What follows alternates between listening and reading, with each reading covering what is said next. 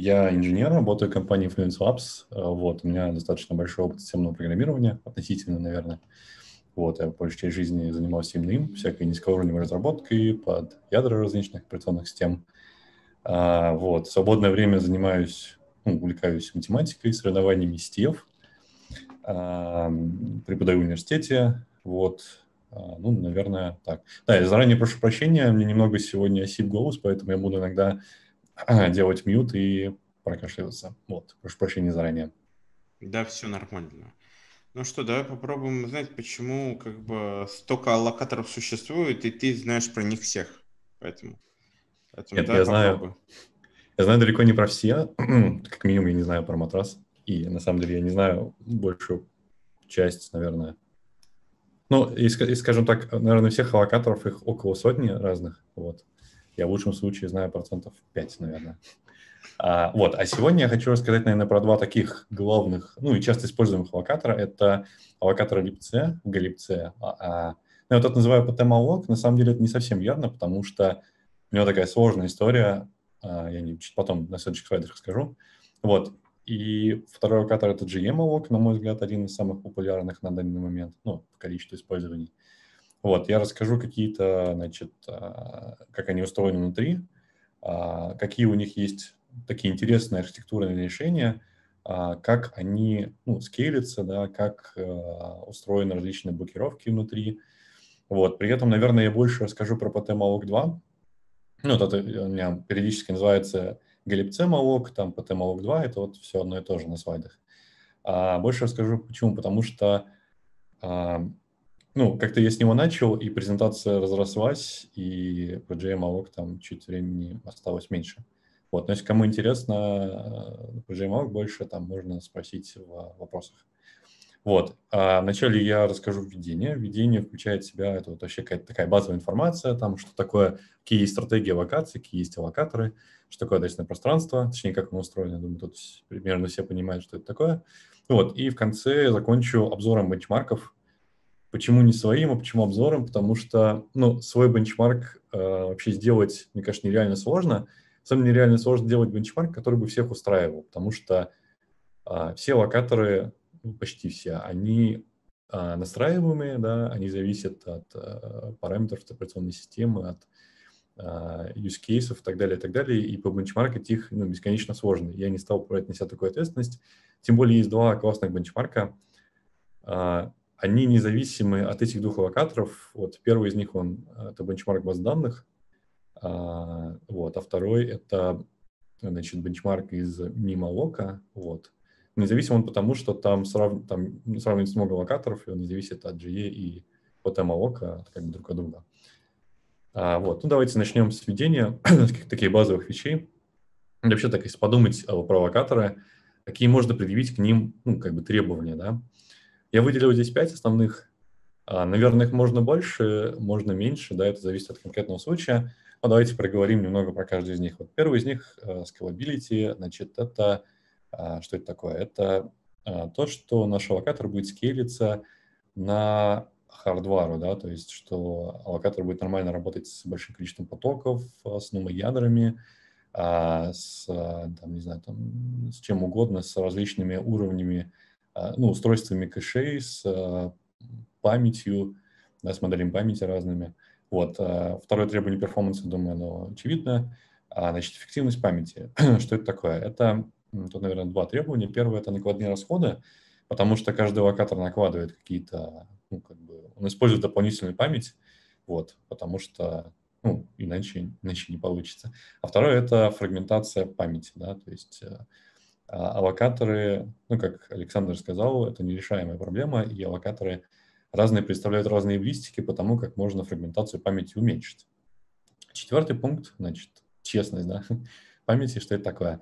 А у нас, а, ну, как бы много поточная, да, много процессорная, э, там много ядерная среда, ну вот, и хочется, чтобы аллокатор использовал, ну, столько памяти, сколько ему на самом деле нужно. То, что, например, когда мы открыли, не знаю, там, а, в Chrome 50 вкладок, у нас э, значит, потребление памяти резко подросло, потом мы оставили одну вкладку, вот, то нужно, чтобы как бы потребление памяти снизилось и ресурсы отдались системе, ну, на самом деле. Потому что не все локаторы это делают. Вот, и последний пункт – это а, такие проблемы безопасности. А, разные локаторы, они, ну, вот у меня такой бэкграунд есть security небольшой, значит, разные локаторы, они представляют разные, как бы такие exploit mitigation, да, это с, способы противодействия эксплуатации различных уязвимостей. Ну, я сразу скажу, что в этом плане PTMalloc, наверное, один из, может быть, а, худших из э, широко используемых, потому что ну, во-первых, он популярный, а во-вторых, он появился очень давно, и exploit mitigation в нем мало. Они постепенно появляются, но, тем не менее, а, есть такие ну, различные способы эксплуатации, которые основаны именно на ну, значит, перетирании каких-то внутренних структур. JML в этом плане он более продвинут. Но об этом скажу чуть больше в конце. Так, еще из базовой информации. Какие вообще есть стратегии локации памяти? На самом деле их две основных. Есть там различные гибридные, да, которые составляются из этих двух. Ну, они более-менее очевидны, да, это best fit. Когда мы лоцируем память как бы такого размера, который а, ну, минимален к запрашиваемому. То есть он приближается справа а, к тому размеру, который мы попросили. Вот. А, ну, плюсы понятны. Плюсы – это меньше фрагментация памяти в таком подходе. Минус – это большая скорость работы, больше накладные расходы. Но сразу скажу, что PTMalog, я буду PTMalog называть, а, это а, ну, почти все механизмы PTMalog, они работают по принципу best fit. Вот first fit – это, а, ну, думаю, все прочитали, у него плюс такой, что у него выше скорость работы и обычно меньше кэшмисов. Но на самом деле кэшмисы – это немного ортогональная характеристика, но в целом обычно бывает так. Вот, и GMLog, его основные алгоритмы и стратегии, они как раз устроены по принципу first fit. Так, теперь давайте посмотрим, какие есть аллокаторы. Вот Александр был такой слайд похожий, но а, я чуть-чуть подробнее расскажу. Значит, здесь перечислены, наверное, самые популярные аллокаторы, которые можно встретить. Вот. А, ну, еще матрас, да. а, вот, значит, все началось с такого популярного аллокатора Dale Malloc. Значит, Dale — это акроним от Duke Lee, а, достаточно известный исследователь, который в последнее время занимается Java, насколько я знаю. Вот, он сделал такой молок, который существует до сих пор. А, он, если я не ошибаюсь, это были середины 90-х, вот, а, и поэтому там ну, есть различные особенности архитектурные, которые связаны именно с тем, что ну, как бы середине 90-х было мало памяти, вот хотелось всем меньше фрагментации, меньше накладных расходов, всего такого. Потом э, его форкнули и сделали семейство аллокаторов PT-Malloc.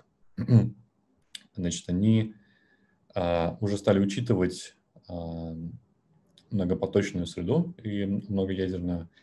Вот. И потом Галипцев форкнул, а, ну, ребят, форкнули PT-Malloc 2, вот, и получается, что Галипцев локатор это как бы форкнутый PT-Malloc 2, который, в свою очередь, форкнут DL-Malloc. Ну и, к слову, тут еще не указан локатор в масле, а вот в масле это тоже форкнутый DL-Malloc, но он там сильно изменен. Там тоже есть кэш, как и в PT-Malloc 2 современном. Вот. А третий локатор GM-Malloc, изначально он а, значит, в 2005 году был написан, первая версия FreeBSD.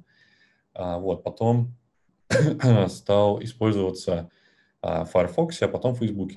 Вот. А, значит, на нем это стандартный аллокатор Bionicle в Android с пятой версии.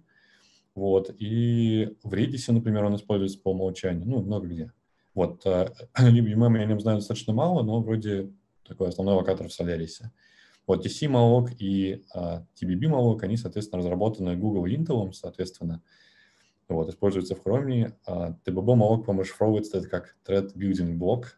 Вот, его основная характеристика — это scalability, как они заявляют. вот. А, но в бенчмарках его, кажется, нет. Вот, поэтому а, ну, о нем можно как-то потом подробнее поговорить. И последний локатор – это локатор, который появился, ну, из них, наверное, самый молодой, он появился в 2017 году, если мне не изменяет память, это Мимолог. И, наверное, это такой самый многообещающий локатор, потому что, ну, ему, во-первых, не очень много, как бы, он существует, да, потому что каждый локатор, он э, эволюционирует постепенно. А, вот, в частности, там JMalog сейчас уже версия 5 5.2, ну и какое-то там минорное число, я не помню. Вот, и JMOC очень сильно эволюционировал, например, он очень сильно эволюционировал с четвертой по пятую версии, вот. А мимо он заточен, ну, согласно доки, я там немного знаю внутренности, он заточен под ну, типа различные современные языки, которые требуют там, ну, типа, удобной работы с атомиками, с, с аллокацией маленьких размеров, вот, что-то типа Свифта, Раста и так далее. Так, ну теперь давайте еще базовой информации. Значит, вообще аллокатор можно рассматривать на самом деле просто как кэш. Вот, надеюсь, мою мышку видно. Ну вот если смотреть адресное пространство, да, в котором есть наш бинарник, libc, и, значит, ядро в kernel space. Кэш к ядру, потому что ну, напрямую можем вызывать э, там системные вызовы mmap, brk, madvice, вот, но это дорого, да, переключение ядра, оно дорогое, вот, и более того, оно как бы по времени непредсказуемое, что для многих э, критично, а, и поэтому, а, ну, как бы локатор – это такая принципиальная штука. Значит, э, так, а, звук пропал, да? А, нет, окей. Значит, а, ну и, соответственно, аллокатор – это вот, ну, либо кэш, либо просто прокси к ядру, а, да, который проксирует вызовы, и, ну, можно, можно воспринимать его как кэш. Значит, вот адресное пространство. Тут такая картинка позаимствованная, значит, с какого-то мануала. А, важно тут две вещи. Первая вещь – то, что у нас есть BRK area, во-вторых, есть memory map сегмент. Что такое БРК? А БРК – это такое наследие, оно, кажется, появилось в Unix 6 в 1975 году. А, вот. Ну, это такая, как бы, когда деревья были молодыми и памяти было очень мало. Вот. И БРК Area – это такое наследие, которое, ну, многие локаторы от него хотят отказаться. А, там, например, JMLog ведется в GitHub дискуссия, что давайте мы откажемся использовать БРК, вот, они сейчас используют в основном memory map сегменты, но если а, не получилось выделить мапом, они а, ну, как бы переключаются на БРК. Вот. А потом Malloc использует БРК как основ, для основной арены и memory map сегменты для остальных арен. Значит, а, БРК – это такая область, которая может расти, да, в отличие от memory map сегментов.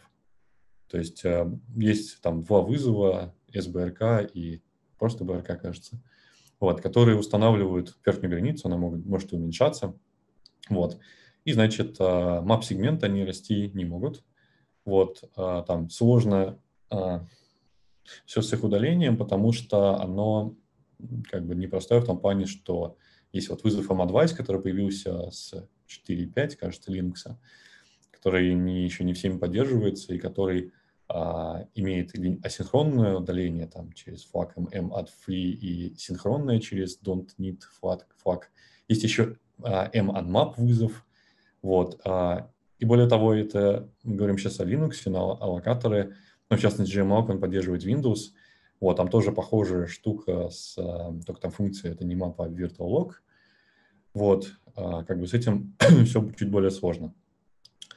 А, вот. Ну и да, как понятно, что нас интересуют анонимные маппинги, в данном случае, которые не, нету файлов а, под ними. Вот, ну давайте теперь перейдем к PTMalog. А, он состоит из основных четырех структур. Первая структура называется malloc chunk. Да, мы будем а, как бы идти, а, получается, а, снизу вверх, то есть каких-то таких маленьких частей. Маленькая, минимальная часть, это кажется, chunk – а, в локаторе, вот, а, он описывает структуры malloc chunk, и потом будем постепенно подниматься выше к а, аренам. Да, вот, соответственно, значит, malloc chunk – это заголовок чанка, bin-листы, ну, да, это вот как бы массив указателей, а, причем, ну, то есть это, по сути, массив списков односвязанных и двусвязанных в зависимости от типа а, бина, вот. И, значит, арена и хипстракт – это такие взаимосвязанные структуры, которые ну вот арена, она а, такое как бы понятие общее, это ну, просто набор локаций, которые обычно относятся к, к одному треду. Вот, она, в свою очередь, содержит несколько структур хипстракт. А, вот. Чтобы вам было не скучно, подумайте, напишите в комментариях, значит, ответ на вопрос. Вот я написал такой код, значит, я вызываю malloc с нулем, у меня glibc по malloc 2, Например, скажем, что Ubuntu, glibc версии 2.27 стандартный, вот, а сколько будет памяти реально выделено? То есть или не будет выделено, или малок вернет ноль. А кто напишет более точный ответ, там, Саша, поставь плюсик карму. А, ну, потом, потом я дам ответ, вот, через слайдов 15, поэтому у вас есть минут 20 где-то подумать. А, вот. Значит, а, Малок Чанг, что это такое? Это такая структура, а, которой есть, ну, получается, 6 полей. Значит, да, вот первый ответ 64К. Что такое К? ну, не, не килобайты точно. Значит, тут есть 4 поинтера, о которых я чуть дальше расскажу. И здесь есть два таких поля, size и prefsize. С prefsize есть небольшая путаница в том плане, в какой чанк его отнести. Но давайте сейчас посмотрим на картинках. А, вообще чанки, они бывают четырех типов. Значит, а, свободный, занятый, топ и last reminder. Да, это last reminder чанк, который типа последний поделенный чанк. Сейчас мы каждый, про каждый из них поговорим. Давайте посмотрим первый вот а, allocated chunk. Вот тут такая картинка из uh, Malloc Internals Manual, кажется. Так, там в конце будет ссылка. Значит, что здесь изображено? Вот здесь, значит, вот сам такой чанк. А вот, вот куда указывает эта стрелочка, вот это вот выделяется пользователю, дается на вызов Malloc. Перед ним находится, соответственно, заголовок, в котором есть размер. А, вот. Он, ну вот размер вот этой штуки зависимость, зависит от битности, или 4 или 8 байт. Но при этом а, младшие 3 бита, они имеют а, ну, смысл флагов. Да, тут три флага, мы сейчас дальше о них поговорим подробнее. И все остальное это, собственно, пользовательские данные. Они тут названы payload.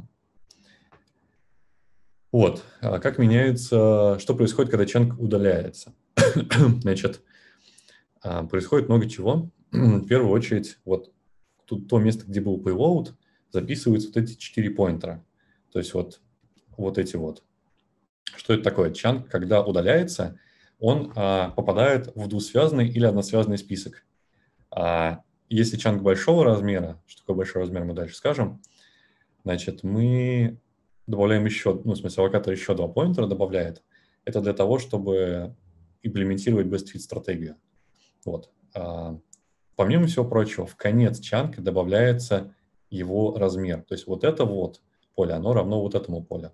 Ну, только без флагов. А, Значит, давайте поговорим, здесь вот один флаг появился, P, который здесь поменял свое значение между слайдами. Вот что такое P? Значит, это флаг, который, если он равен единичке, это говорит о том, что предыдущий чанк, он, а, значит, in use. Он не свобод, он как бы не, а, ну, типа, не свободный.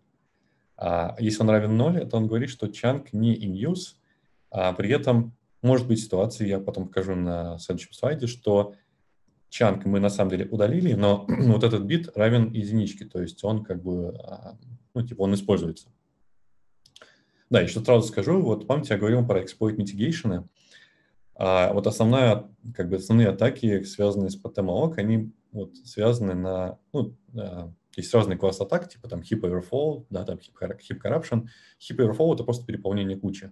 И вот здесь вот э, очень много как бы, способов эксплуатации связано именно с тем, что перетирается какие-то вот этих полей, или вот эти флаги, или size, вот, и из этого можно добиться много э, интересного. Значит, э, давайте переговорим про флаги чанков более подробно. Вот про P мы уже сказали. Значит, M — это э, флаг, который установлен в том случае, если чанк был аллоцирован с помощью вызова map. Помните, я вам говорил, что, во-первых, у нас есть такая дихотомия, что а, арена может выделиться в area, а может в map area выделиться. Но помимо всего прочего, если а, мы, ну, пользователь запрашивает, ну, как бы аллоцирует размер чанка больше какого-то трэшхолда, вот, и нету памяти, ну, как бы в локаторе, там более конкретно об этом дальше поговорим, где нет памяти, то просто локатор fallbatchится на вызов map, а, и все. И он за эту локацию, грубо говоря, не отвечает. В том плане, что дальше она выделя... удаляется просто m-unmap, и никуда внутри не попадает больше. И вот э, такие локации можно найти с помощью вот этого флага. А, и, значит, третий флаг — это А, да, так обозначается в документации и в коде. А, значит, этот чанг говорит о том, что этот а, ну, типа, этот факт, точнее, говорит о том, что чанк принадлежит главной арене. Главная арена – это та, которая выделилась БРК Area. А, значит, теперь давайте чуть... Было много текста, давайте чуть посмотрим картинки. Вот как вообще, зачем все это нужно, да? Зачем нужны эти флаги, почему P в следующем чанке находится, зачем нужен size? Вот, а, да, я не сказал, вот в целом вообще, как бы в такой, в computer science, вот эта структура называется обычно HIP. Ну, даже не в computer science, а, наверное, в теории, если, может, если была бы такая теория авокаторов, наверное, называлась бы так. То есть HIP – это а, такая область, где лежат авокаторы разных размеров. Теперь давайте, в смысле чанки, сори, чанки разных размеров. Теперь давайте представим, что мы хотим удалить вот этот чанк. Значит, вот он был занят. А, значит, мы удалили его, и при удалении у нас вот, ну, вот до этого, как бы вот этот бит был равен единичке, он был news. Считаем, что мы как-то удалили так, что он стал а, свободным именно. Вот, и вот сюда записался его размер. И этот PS, он равен S у нас да, это pref size, он равен s, то есть это один, одно и то же число. Теперь для того, чтобы как бы вот при generic таком подходе, а, обычно при удалении локации нам нужно проверить, есть ли слева и справа свободные локации, чтобы, если они есть, как бы их вместе объединить в одну большую локацию. Это так, таким английским словом называется, я его никогда не умел выговаривать. Вот если будете гуглить, а, нужно гуглить вот по вот этим, этому слову.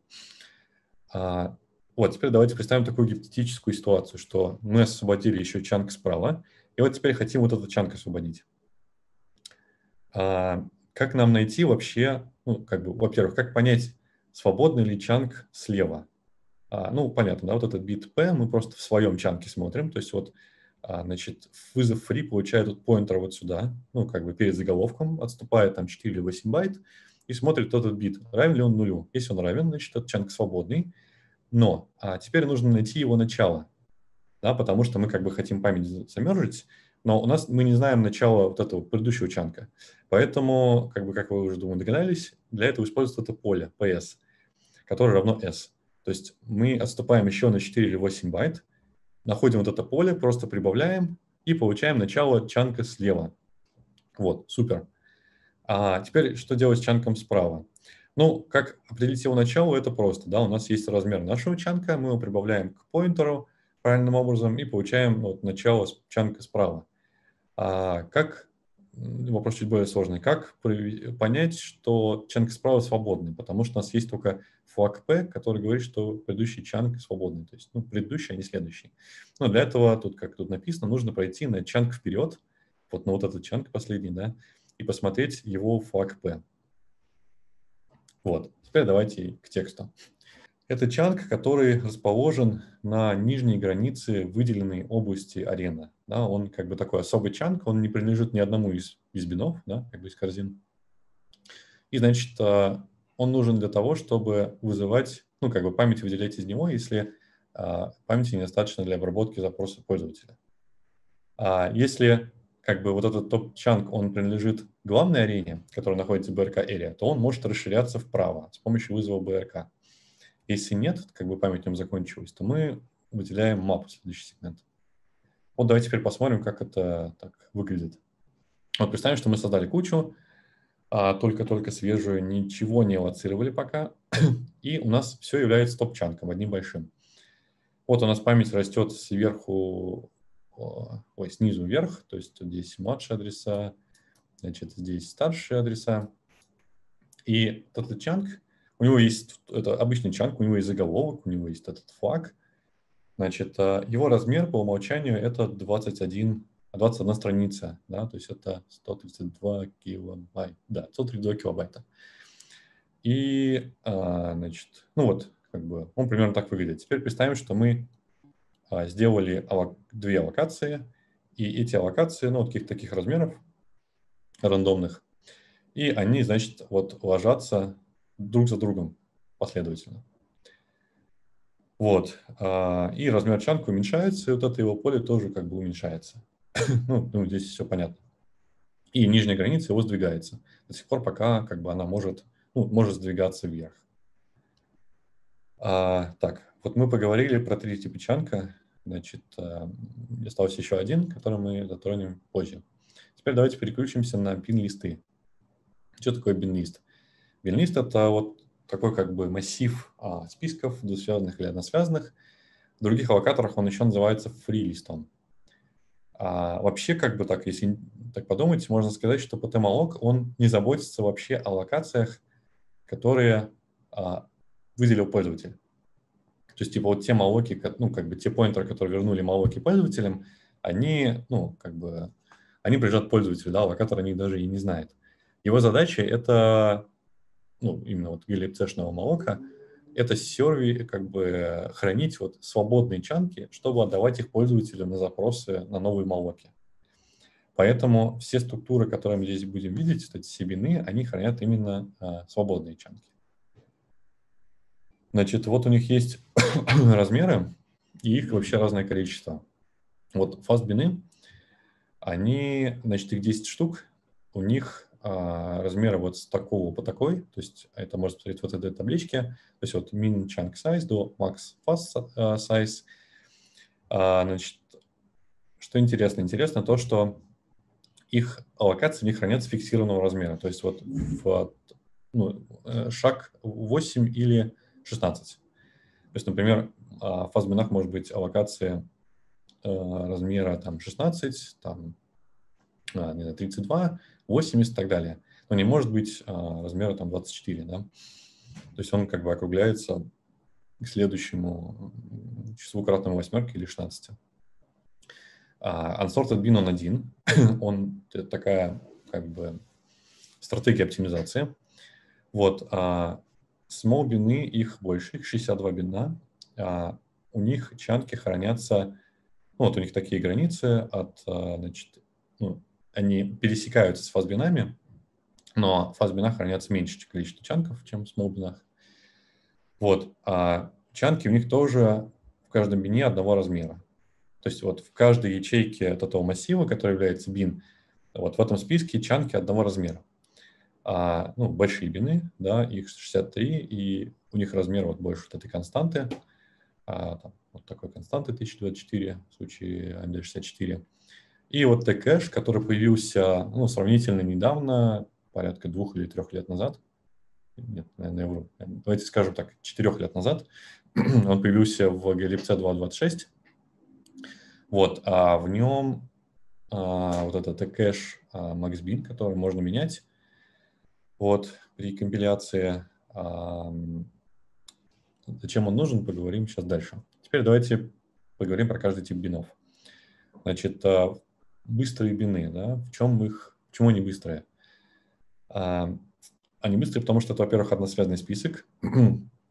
он, а, значит, он LIFO, то есть он а, работает как стек, а, то есть сюда приходит, ну, как бы какой-то, ну, освобождается чанк такого размера, он становится начало от этого стека, и, соответственно, потом при молоке этого нужного размера как бы берется чанк отсюда, из начала.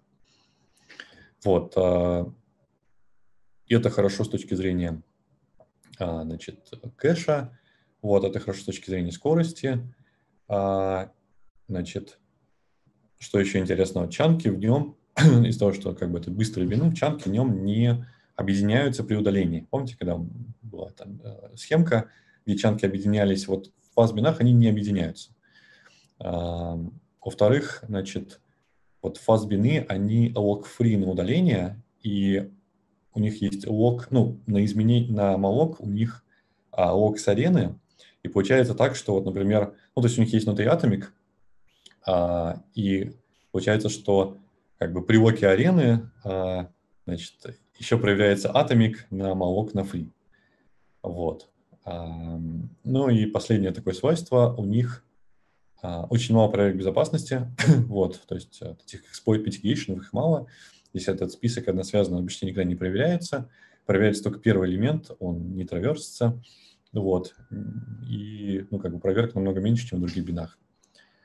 А, давайте теперь еще картинки. Вот представим, что есть такая программа.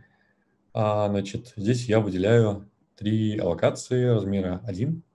Ну, на самом деле вы понимаете, что этот размер будет округлен до... Здесь есть константа. А, ну, давайте я не потом скажу. Вот, значит, он будет округлен а, и выделить какой-то какой размер. Вот, и потом я их удаляю в том же порядке, который выделил, и выделяю, значит, еще чанк, ну, такого же размера, да, единичка. Вот, и чтобы продемонстрировать, что это стек, работает как стек, да, вот а, print из отладчика, значит, а, ну, здесь я использовал PalmDBG, потому что у меня есть а, такая удобная фишка для визуализации кучи. Вот здесь есть это, ну, такой как бы значит, часть экрана вот, с участком кучи, с этой, исполнением этой команды. Значит, вот здесь, ну, представим, что мы выполнили три аллокации, и у нас, ну, как бы перед там ничего не было. Тут на самом деле есть, есть там одна локация, да, но нам не важна. Она где-то там э, в инициализации происходит. Вот здесь лежат три локации друг за другом, и после них вот здесь вот как бы младшие адреса, здесь старшие адреса, а после них идет топ-чанк. Вот здесь он как бы показывает, что вот это топ-чанк наш. Вот, помните, я говорю, что 21 а, страница, вот, здесь как бы количество уменьшилось, вот на три чанки, вот это еще какой-то э, системный. И а, ну, вот этот заголовок, здесь вот как раз закодирован размер 20 хекси, то есть 32 байта, и флаги. Тут здесь флаг pref in use, то есть предыдущий используется. Вот теперь а, удалились три, значит, а, я поставил точку остановку здесь, удалились три локации. Вот здесь написано tcache beans. А, на самом деле, давайте представим, что здесь написано fast beans. Логика от этого абсолютно не поменяется. А, просто, ну, что такое кэш, я расскажу потом. Значит, и вот видно здесь, что типа сначала была удалена эта локация верхняя, потом вторая, потом третья. Да, и, соответственно, вот в таком порядке они как бы находятся в таком импровизированном односвя... а, стеке, да, односвязанном списке. Теперь, когда мы выполнили этот малок, мы видим, что у нас вот этот чанк, да, вот еще заметьте, вот, ну, вот эти вот э, числа, это поинтер, да, то есть а, чанки попали в список односвязанный, да, потому что только один, а, ну, keyword изменен. Вот, потом мы один чанк, значит, отдали пользователю. В нем, кстати, вот это не удалилось. вот. А, не, ну, не обнулилось, в смысле, из-за того, что это быстрые бины. И, а, ну, и удалилось как бы из конца, да, то есть, ну, в смысле, из, точнее, из начала. То есть это работает как лифо.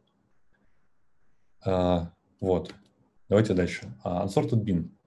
Unsorted bin, он один, и он, а, его основная цель это как бы такая эвристика а, использования недавно освобожденных чанков. Когда чанк удаляется, а, он попадает в unsorted bin, он удаляется лениво на самом деле. И тут интересно, что так, если сравнивать а, malloc и, и GE то у glibc malloc намного более быстрая free, а, чем у GM-молока. А у GM-молока более быстрый молок. Ну так, а, алгоритмически, да, то есть не, не, не в реализации, а именно алгоритмически.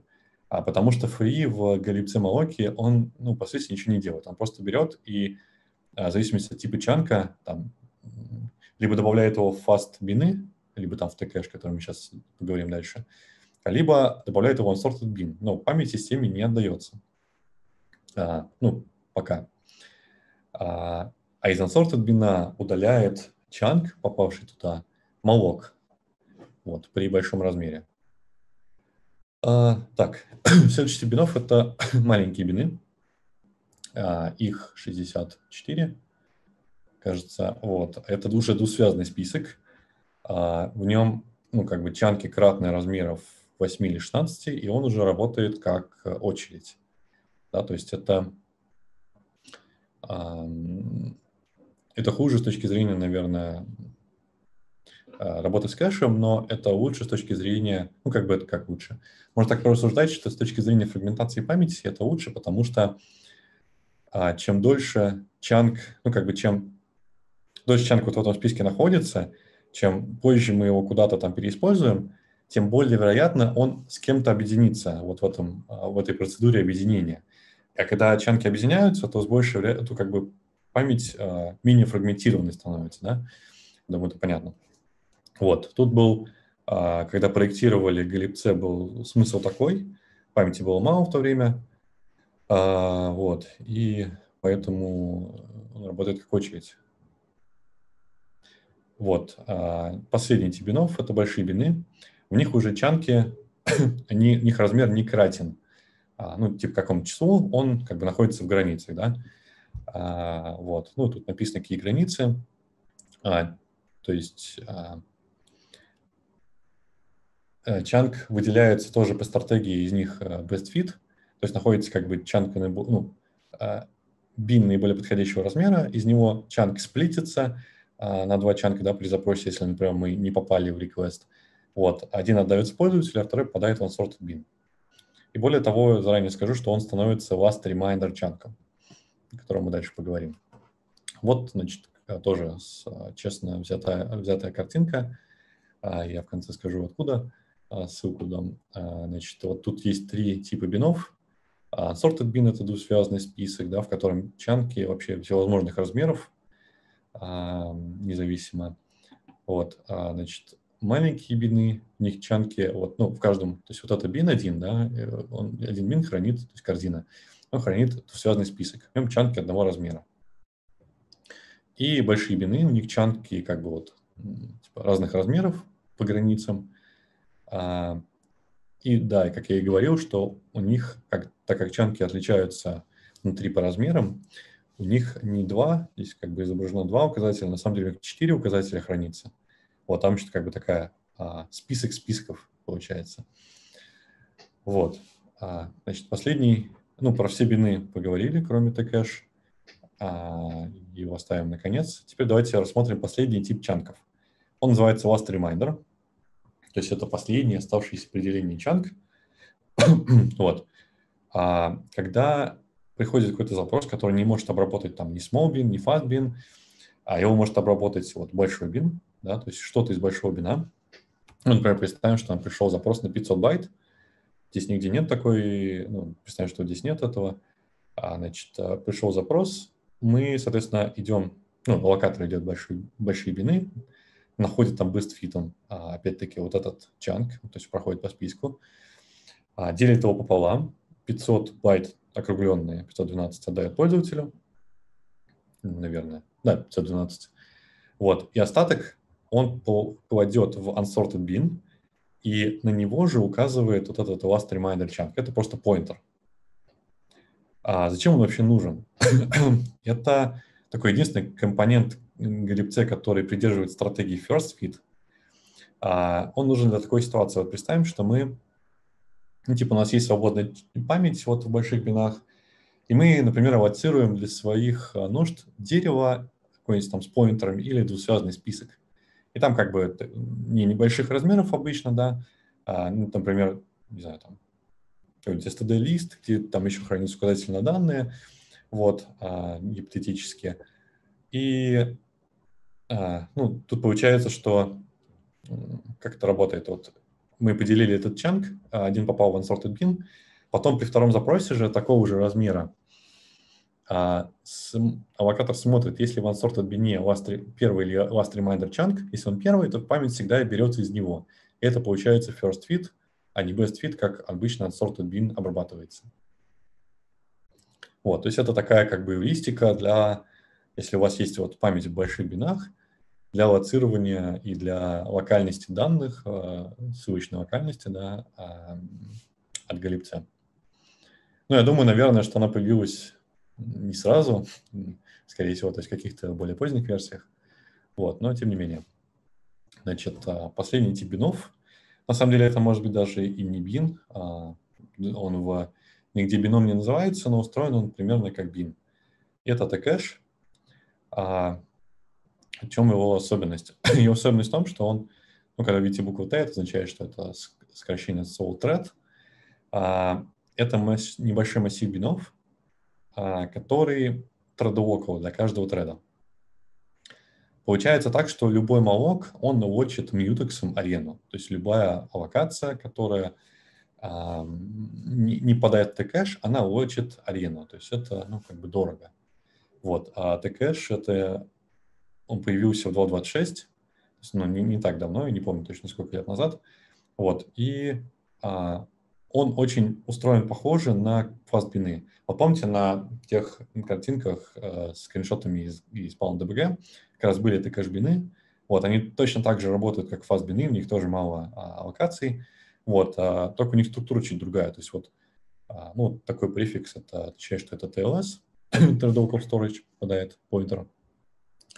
Вот, а, их 64, в смысле, их 64 размера, и в каждом из них а, вот этот cache fill count. То есть вот, вот таких 64 entry, а, ну, то есть, давайте более подробно, да, тут нарисован два массива, это массив, ну, как бы чисел, а, типа чаров, и массив указателей.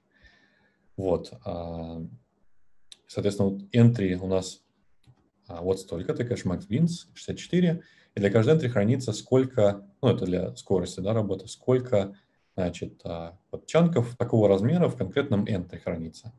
Тут односвязанный список, и вот здесь в каждом entry максимально cache fill count, если не ошибаюсь, он равен 7 по дефолту. То есть такой небольшой как бы кэш, которым, ну, типа, 7, максимум 7 локаций находится но его сложно как бы переоценить, он есть почти во всех, наверное, а, таких, а, ну, как бы, а, generic-based аллокаторах, потому что лочиться на Mutex дорого, вот on thread local, лочиться не нужно, и перформанс сильно увеличивается. Так, вот мы закончили рассмотрение двух структур. Значит, это мало, чанков и бинов. Давайте теперь перейдем к аренам. А вот арена, да, как я уже говорил, что ее основная задача это значит, не блокировать, а, стараться не блокировать потоки. А как она устроена? Во-первых, их бывает несколько, а, ну, в смысле, их столько, сколько ядер в системе. Если более точно в галипце, вот в случае 32-битной битной программы их 2 умножить на n плюс 1, где n – это количество ядер. А в случае AMD64 это 8 умножить на n плюс 1. вот, потому что памяти больше, можно больше overhead делать. А как они вообще работают? Значит, системный, ну, как бы поток, он а, прикрепляется к конкретной арене. То есть вот когда поток без арены, он делает молок, а, ищется арена свободная, которая как бы еще не занята. То есть идеально, а, тут две ситуации может быть, что три ситуации. А, например, есть какая-то свободная арена, которой поток не затачен, тогда выбирается она. Если таких арен нет, то выбирается первая, на которой можем мьютек заочить. А, в ней там в списке двусвязанным. Э, да. Вот, выбирается первая, которую можем заучить uh, mutex. И она назначается как бы, ну, типа, ареной потока. Вот, если а, а, ну ладно, об этом потом скажу. Значит, и арена бывает еще двух типов. Главная и так называемая динамическая. Помните, у нас были три флага в чанках. Вот один из флагов как раз говорил, что выделен ли он на главной а, арене, да, то есть BRK area, либо он выделен в динамической арене. И, соответственно, вот main арена, она в BRK area находится. Динамические арены ну, main арена она одна, вот этих много. Они выделяются с помощью мапа. И вот эта арена, она может расти, вот. И у нее есть интересная особенность, что, так, сейчас, значит, на нее хранится, вот, ну, есть такая структура malloc state, а, и она хранится не где-то там, она хранится в липце. То есть прям вот натурально в липце есть там глобальная структура malloc state, которой есть вот, ну, себе нужный указатель, в частности, например, топ-чанк, и а, как бы он указывает на главную арену. Ну, изначально он никуда не указывает, пока хип не инициализирован. Вот. В тред-аренах, значит, они выделяются в маптере, это означает, что они не могут расти. Вот. И вот хип-инфо, или там malloc э, state, да, у них находится в начале а, маппинга. Если я правильно помню, маппинг 4 мегабайта а, по дефолту под malloc из них, а, ну, 4 мегабайта резервируется, а реально как бы она, по-моему, мапится с флагами map_non, и вот только первые 21 а, страница, они под топ-чанк, они как раз мапятся read-write, а, вот, то есть как бы остальная память просто лоцирована, о, резервирована, сори. Значит, давайте посмотрим теперь на структуру malloc state. Вот тут что есть интересного. Здесь есть все, что мы до этого говорили. Здесь есть мьютексы, ну, в смысле один мьютекс. А этот мьютекс вводится при молоке. Вот, а, всегда на линии. Значит, а, ну, там флаги неважно. Вот есть все бины, fast bin, значит, и вот все бины, да, их, ну, типа здесь и, мали, и большие, и маленькие. Есть указатель на reminder chunk, есть указатель на top chunk. Вот, и эти структуры, они провязаны а, двусвязанным списком, sorry, односвязанным списком. Типа есть, а, ну, вот как бы просто все, next это просто все арены. Next free это те, которые а, ближайшая не а, аллоцированная арена. в смысле, не занятая потоком. Вот, ну и там всякие различные каунтеры есть. Вот, ну, нам не так важны. А, вот выглядит все это примерно вот так, если схематично изображается. Вот есть отличная картинка в Malloc мануале. А, значит, а, ну, тут, я думаю, понятно, что у нас есть а, фаз-бины, бины, вот это все, то, что мы, то, о чем мы говорили. Вот. Есть структура heap-info, такая основная, в которой есть, соответственно, ну, она хранится обычно перед ареной, вот, и все вместе это устроено вот примерно вот так вот, такая сложная схемка. То есть есть основная арена, которая, вот есть Malloc State, у нее там нету хип-инфо, хип-инфо, она только в динамических аренах. А, вот. Они провязаны в список, список. Вот у динамической арены есть такая особенность, что когда память не заканчивается, то есть вот когда заканчивается память топ-чанки, вот здесь в main-арене, она расширяется. До сих пор, пока СБРК может расшириться.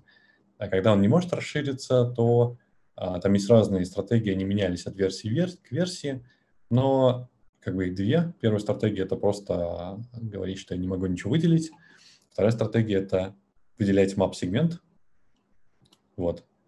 И, а, значит, а, вот здесь показано э, рисунок, э, рисунок как раз, когда а, динамическая арена расширивалась, топчан сузился до сих пор, пока он не может обрабатывать запросы.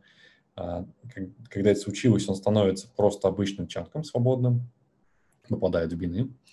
Вот, и выделяется еще один второй мап-сегмент такого же размера, и у него вначале есть структура heap-info, которая как раз их как бы провязывает список.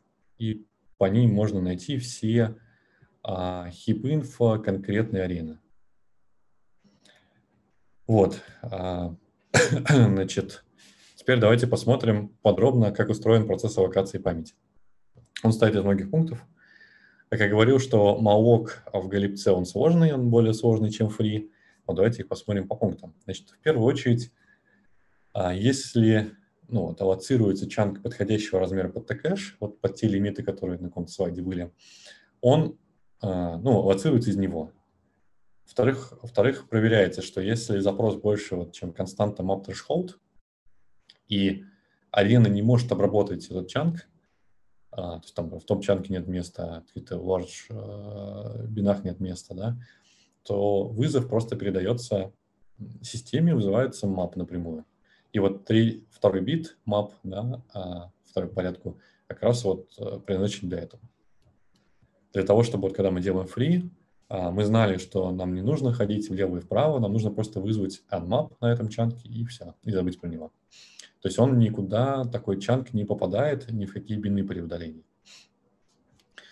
А, вот, значит, если вот это все как бы не выполнилось, мы идем в фаст бины, смотрим, если чанк, ну, как бы подходит под размер под фаст бины, то возвращается он, да, из фаст бинов. Значит, здесь еще есть такая эвристика, что при наличии чанков такого же размера в фазбине, то они как бы, а, то есть, например, мы запросили чанк размера 32, его нету в T-кэш, но есть в фазбинах, а, там 10 чанков, вот. Один из них отдался пользователю, остальные 9, они попали в T-кэш в тот же, а, в ту же entry, в того же размера. То есть как бы только одна entry из фазбина переносится вот на этом этапе. Значит, а, а если дальше смотрим, если у нас размер подходит под размер, ну, как бы под маленькие бины, мы смотрим, как бы, что из них, а, и такая же логика по заполнению T-кэш. Дальше мы обрабатываем чанки из unsorted bin. А дальше все, как бы вот это получается такое, это был, можно сказать, вот это happy pass основной, да, это. Ну, можно сказать, что вот это все happy pass, вот этот пункт, он может быть тяжелый, потому что в unsorted bin может быть много чанков, и мы их обрабатываем все, не помещаются маленькие или большие бины в с их размером. Но мы обрабатываем до тех пор, пока не находим чанк нужного размера, ну, либо как бы пока чанки не закончатся.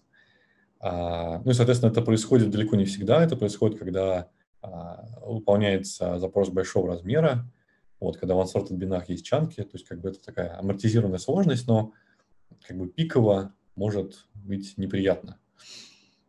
Вот. Теперь, если в unsorted бине не был найден чанк, то мы переходим только в этот момент в большие бины. И, соответственно, если а, все а, было тщетно, да, то только тогда мы переходим в топ-чанк. Вот. Если там уже нет места в топ-чанке, да, то, как я говорю, происходит либо увеличение BRK area, либо создается новый как бы info с новой э, map-сегментом под арену. Вот. Э, ну, как бы, либо, если вот, это, вот эти два пункта как бы тоже постигли неудачи, то пользователь просто возвращается ноль. Ну, то есть ошибка. Вот. Удаление намного проще.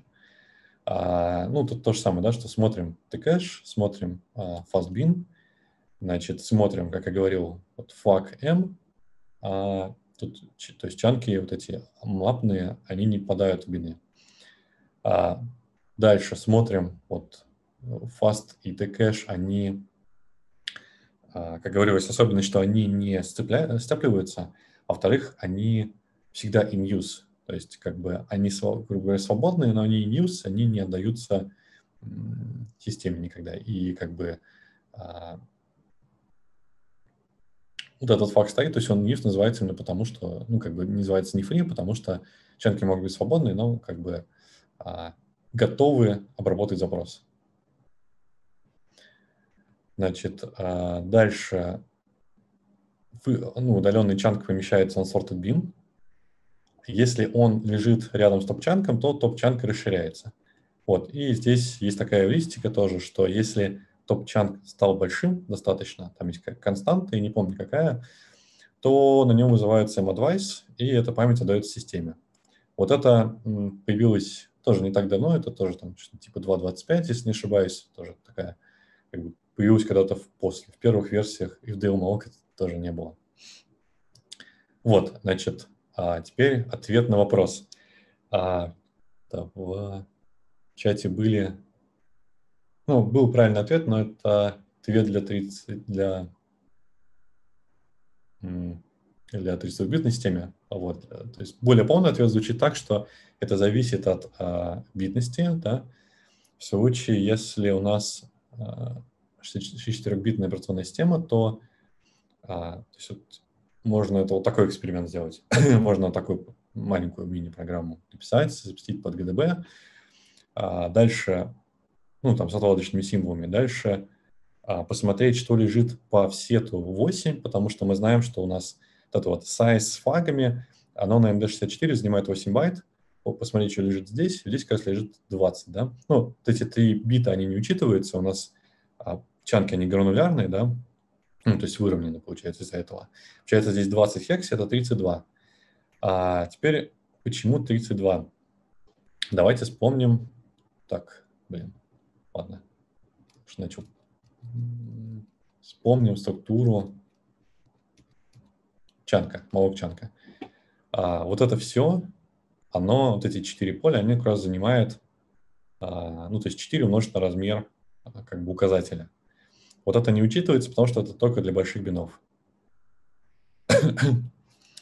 Более того, здесь была подсказка, а вот здесь, здесь был, а, что я не сказал тогда, min chunk size, вот, этот chunk size, это, ну, понятно, что это минимальный чанк, который можем выделить, и вот он равен либо 16 на 32-битной системе, а, в смысле на 32-битной программе на 64-битной системе, либо 32 как у нас получилось в примере. Долгий путь обратно. Так, вот, теперь давайте поговорим менее подробно, много менее подробно про GMLog. И опять такой же вопрос. А сколько будет выделено в случае JMalog? Вот. А, ну, тут ответ будет почти сразу. Я сейчас немного поспекулирую на эту тему. А, в том плане, что GM он в отличие от а, Glibc Malloc, он очень сильно кастомайзабл, да, то есть там очень много настроек, которые можно настроить. Есть те, которые можно runtime настроить, есть те, которые можно статически настроить. И в частности, одна из них, она называется вот так. Bump Empty Align Talk. Это означает, что типа если ну, как бы пользователь дал тебе 0, то конвертни 0 в единичку. Ну, здесь unlikely, я думаю, все понимают, что это такое. да, кстати, к слову, если посмотреть исходный код GMLog, я всем рекомендую а, посмотреть его, вот, то а, там можно найти очень много примеров, как можно писать как раз код а, который, а, значит, а, ну, то есть а, там есть различные эвристики, что, например, если посмотрите просто на функцию gmalloc, она написана не просто так, она у нее есть э, fast pass, условно, да, который прям в теле функции там э, с тэкэшем, с этим всем. И, собственно, вызывается потом, функция, по называется malloc default, да, кажется так. Вот, она вызывается tail call, то есть как просто return эта функция, для того, чтобы, там, например, регистры не сохранялись э, в разных конвенциях вызова на разных операционных системах, ну, потому что это как бы лишняя, а, лишняя работа. Ну, то есть все регистры, они по конвенции вызова должны между вызовами некоторые сохраняться. Значит, давайте пройдемся по базовым структурам. Значит, вот все в... А, так, я прошу прощения. У меня, кажется, слайд пропал. В общем, тут должен был быть слайд про extend. А, даже не про extend, а про... В общем, внутри GMLog все лежит...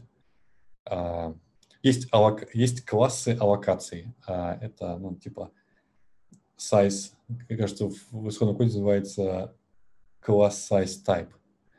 Это что такое? Их всего два, а раньше было три, а, до GMLog четвертого, кажется, или до пятого. ну, в общем, неважно, сейчас их два это маленькие и большие, то есть small и, и large. А, раньше было три, это huge, третий тип. А, значит, их смысл в том, что huge обрабатывался раньше операционной системой точно так же, как в PTMalog, да, то есть просто вызывался map, системный вызов или virtual log, потому что наш GMLog уже работает на Windows, вот, он поддерживает Windows, другие операционные системы. И а, Значит, а, ну, сейчас их два, вот, а, маленькие и большие, но все они лежат внутри внутренней структуры по названием extend. Вот, то есть как бы никакого, то есть как бы внутри, грубо говоря, map оборачивается следующей абстракцией по названием extend. Вот это просто регион памяти, который выровнен по размеру страницы. Вот, он может находиться в четырех состояниях. А, можно сказать, что вот первое это такое активное, которое означает, что он использовался используется приложением в данный момент, и три таких состояния, там, Dirty, Mazi и Retained, а, это означает, что мы как бы каким-то образом от него избавились. Там вот очень сложный процесс, как, ну, там, куча эвристик для операционных систем, там все под макросами, как, короче, вот между этими состояниями он рециркулирует. Но в общем случае а, можно сказать, что если у нас новая операционная система там с MAD-free, с поддержкой, то регион удаляется синхронно. Вот, ну, как бы дети это просто кэш, вот, а этот регион удаляется синхронно, он переходит в состояние мази, вот, если это не поддерживается, он удаляется, ну, там тоже, в зависимости от операционной системы, удаляется синхронно, то есть медленно, вот, а, и для каждого такого, как бы, региона, ну, для вот этих трех, точнее, последних освобожденных, есть там свой кэш аллокаций. Вот, интересно, да, как, значит, если у нас в, в потомолоке были вот бины, были а, размеры аллокации, метаданные перед адресом, то в GMLog такого нет. В этом плане он а, как бы хорош с точки зрения exploit mitigation, потому что мы ничего не можем как бы закараптить у следующей аллокации, то есть заголовков нет. А, оно как, как бы узнается метаданные, да, то есть, например, мы на каком-то потоке вызвали free, как вообще понять, что, как бы, что происходит, где найти чанк. Для этого есть специальная Radix 3, а, вот. Но такое, как бы оно устроено так, что оно связывает виртуальный адрес с метаданными, описывающими extent. Ну, там вот хранится разные, э, ну, как бы там миллион а, полей, ну, там состояние, там размер, а, начальный конечный адреса, индекс арены, который сервит этот extent, вот, и еще много чего, всякие там разные статистики. Вот, а, это R3, оно лог-фри на чтение, и что вот такое bottleneck, на мой взгляд, а, есть один глобальный mutex, глобальный JMLOC, и R3 синхронизируется на нем на запись. Вот. А, у них есть issue, и на самом деле вот как бы у них документации как таковой нету, а у них есть pull request с документацией, у меня ссылка будет тоже в конце, но там документация тоже такая, ну, не очень, да, новая. И там написано, что они стараются сделать локи более fine-grained, но пока у них тоже вот есть арена, а, тут тоже, да, есть такая же, ну, арена, только она чуть-чуть, ну, как бы намного более сложно устроена, вот, а, и у арены тоже есть mutex, вот, и этот mutex лочится там во многих ситуациях, вот, а, и, как я говорил, помните, что здесь free более дорогой, ну, вот, как бы алгоритмический, чем в Галипце, потому что в Галипце ну, молок, по сути, чистит до конца, а в JMalloc нам нужно, вот есть такой mutex, на котором нужно синхронизироваться там, на удаление, на заполнение T-кэш и так далее. Блин, мне этот слайд не пропал, он почему-то переместился. Да. Здесь, кстати, если будете смотреть исходный код, это вот э, слайд, где я рассказывал про какие есть типы а, классов аллокации. Если будете смотреть исходный код, здесь вот есть такая константа, называется вот так вот. То есть это максимальный размер вот этого маленького класса, какой он может быть. А, это, ну, тут очень много макросов в JMalloc. вот, есть, ну, как бы, это, как бы это макрос такой, как бы, вот, есть макросы, там, которые оборачивают там R3, вот, там у них достаточно сложно разобраться. Вот здесь а, что такое, да, не сказал, до какого размера вообще вот эти маленькие аллокации. Если посмотреть сюда, в общем, здесь, ну, так, сложно сходу понять, но, в общем, вот LG page – это, ну, префикс LG – это сокращение от log, да, то есть это как бы у нас пейджа это 2 в 12, вот, а, то есть ну, 4 килобайта. получается как бы 12, а, и получается этот small max class, а, ну, он, грубо говоря, меньше либо равно 2 в 15. То есть он как бы до 2, до 32 килобайт. А, да. И вот следующий класс, он начинается после этого, вот n-групп, оно равно... А, а, нет, я перепутал 2, 2 в 14. Да, кажется, 2 в 14. А, значит, потому что тут э, группа равно 2. Вот, а вот это число, оно должно быть больше. А, вот. И получается, что стратегия локации сильно зависит от того, какой мы а, аллоцируем, какого типа, да, маленький или большой. По факту можно сказать, что в GM два аллокатора, один из них основан на другом. То есть вот, а, вот этот большой large, да, обработка, она основана на экстентах. вот, и мы как бы используем его как такой базовый локатор для второго локатора, где а, он основан, я забегу вперед, на слаб, а, слабок, да, и внутри он тоже использует экстенты. Значит, у него также есть ткэш, ткэш есть у всех, он строен, кстати, более интересно в том плане, что это не просто вот как бы типа такой набор entry одного размера, а это стек, а, вот, oak free, да, который, как здесь адреса хранятся друг за другом. Здесь есть вот такие специальные, а, ну, типа 16, а, ну, по сути, получается 16 бит, да, которые говорят, что где найти следующий, значит, свободный а, чанк из, из T-кэша. Ну, как бы вот как-то вот так себе можно представить. А на самом деле, там, смотреть GMOC реализацию, там есть FastPass, которым типа может из ThreadCache а, что-то попасть. Вот в каких-то случаях там тоже сложные алгоритмы.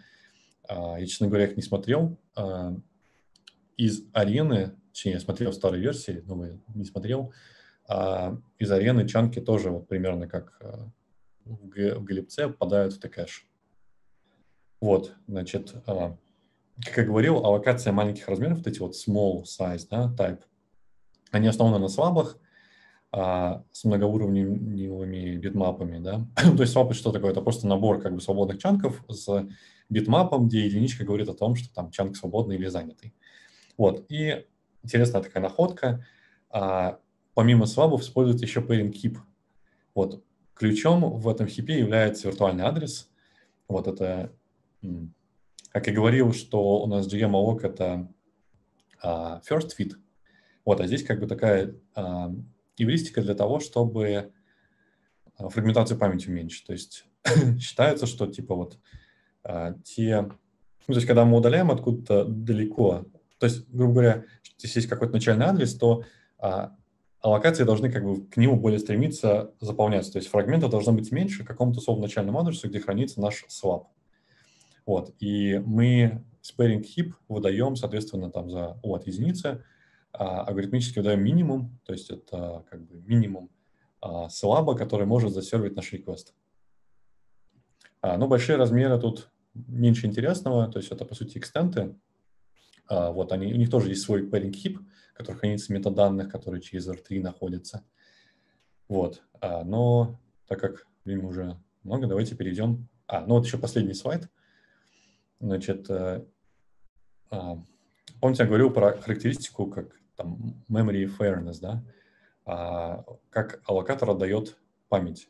Здесь он дает так достаточно сложно, это называется decay-based, то есть э, там есть внутренние э, внутренние колбеки, а, там, типа арена decay callback, кажется, так функция называется, которая дает память, ну, как бы так, грубо говоря, а, ну, почти алгоритмически, да, то есть вот здесь раз пример, что, например, мы, не знаю, там, открыли Chrome, что-то тяжелое загрузили, а потом, ну, например, открыли YouTube, это нам тоже как-то был всплеск памяти, и на самом деле невыгодно вот сразу всю память отдавать, да, выгодно как-то ее более релаксированно отдавать, более лениво. А, вот. И как раз здесь используется такая стратегия. Теперь давайте перейдем к обзору бенчмарков. Их два. Вот. А, ну, на самом деле их очень много. Если нагуглите там сравнение GMLog с чем-нибудь, их будет много, но они почти все будут старые. А, то есть там 2006 года. А, в общем, не GMLog 5. Я нашел только два, которые GMLog выше пятой версии, потому что в нем очень много чего поменялось, да, в нем вот этот вот pairing heap добавился, а, ну, как бы сильно, кажется, скорость улучшилась, даже, наверное, не скорость, а скалабилити сильно улучшилась.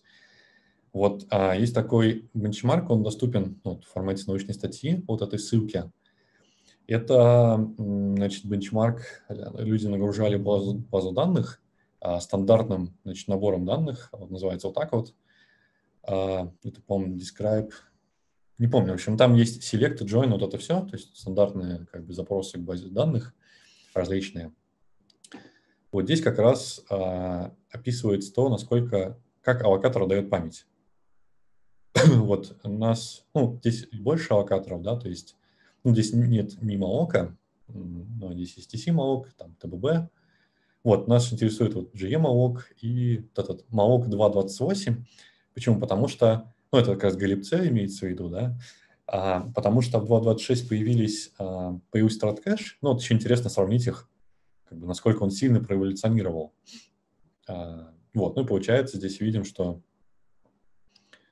ну, а, как бы с точки зрения отдачи памяти в целом, а, ну, они сравнимы, да, то есть тут разных, по- по-разному как бы consumption происходит, но а, там, в чем-то они сравнимы, но здесь, конечно, а, то есть больше а, изначально больше аллоцируется памяти под, под кэш, под все, вот, а, экстентами, потому что там определяется размер страницы, там в Галипце, как я говорил, там 4 мегабайта, из них там только 132 килобайта аллоцированы изначально.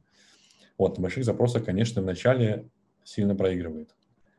А здесь query latency для значит, четырехсокетного ксиона – а, у них там, если посмотреть статью, здесь тут больше графиков, ну, это диаграмма размаха обычно называется, или там ящик с усами, кажется.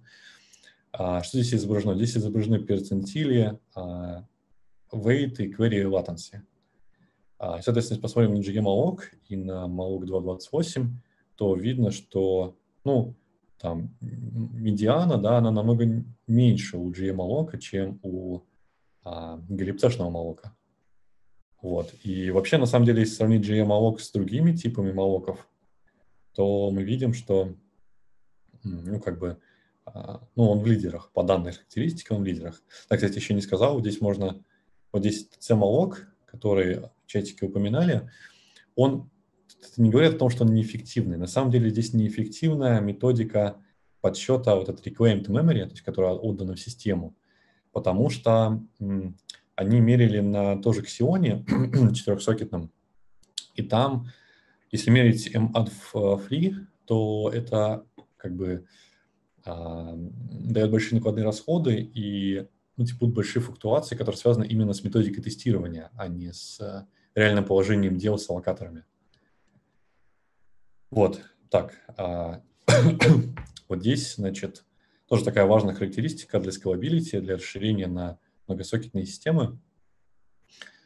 Ну вот, а, есть три, две основные таблички, две основных в смысле колонки, а, local и remote. Да, local это то, что а, нормированный, кстати, по Malloc 2.28, типа то, что мы работаем в пределах своей ноды, либо там процента того, что мы перешли на соседнюю.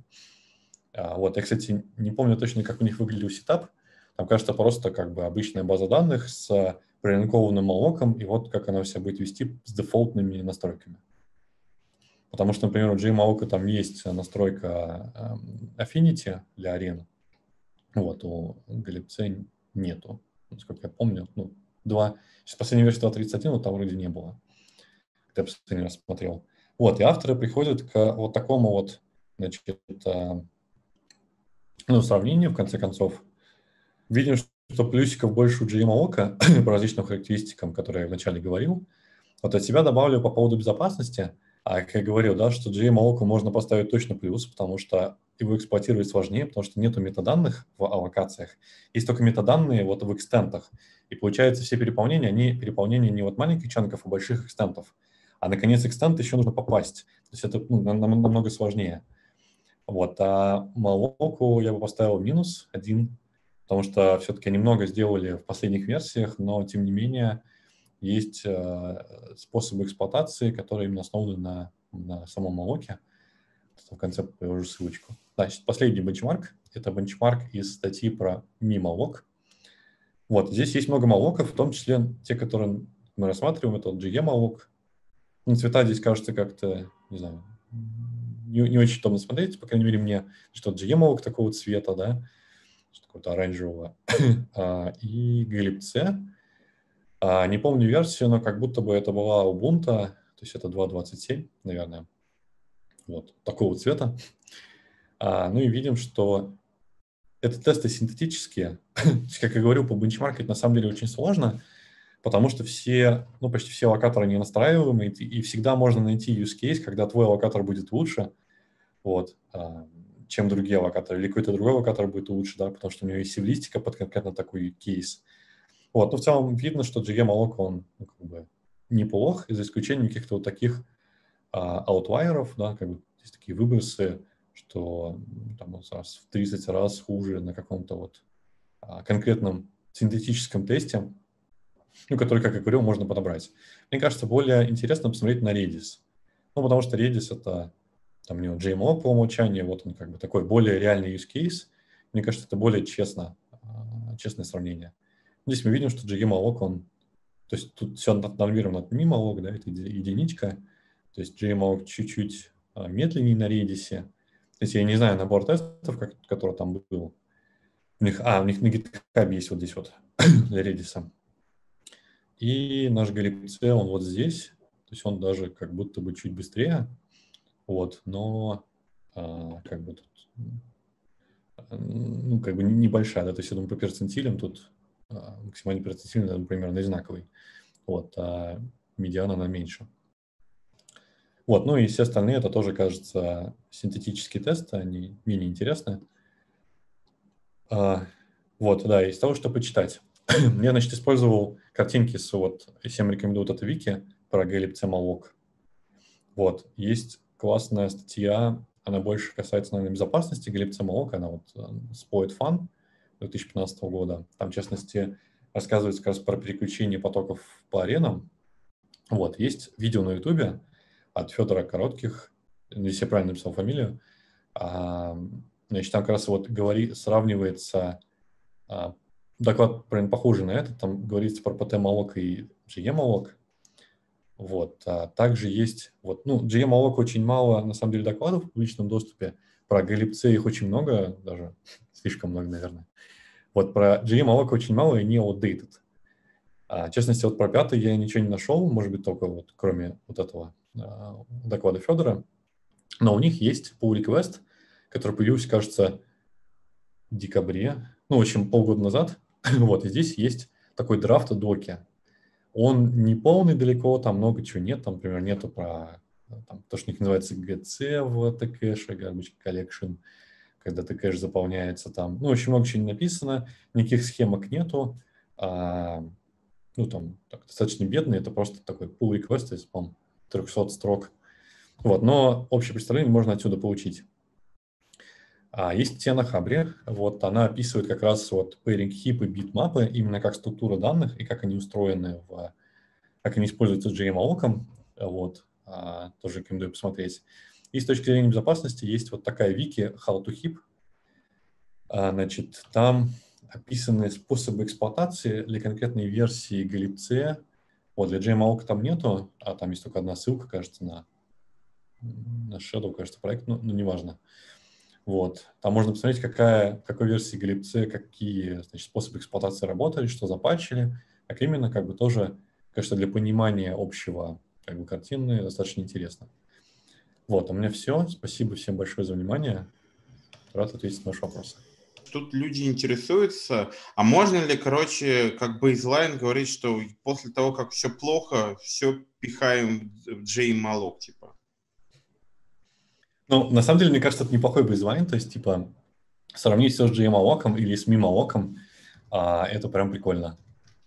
Ну, то есть бейзлайн, как э, если выбирать какой-то малок, э, другой отличный от, от малока обычного, Uh-huh. до Джей Малок это типа бейзлайн, с которого надо типа, начинать эксперименты.